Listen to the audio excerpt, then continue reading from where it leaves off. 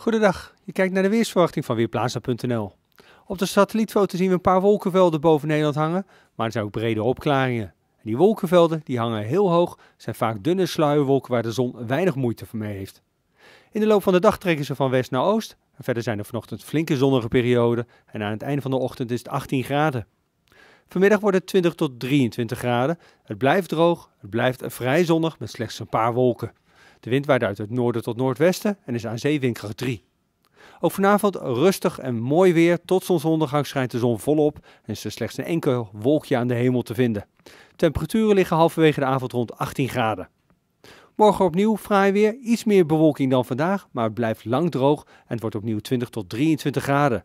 Pas in de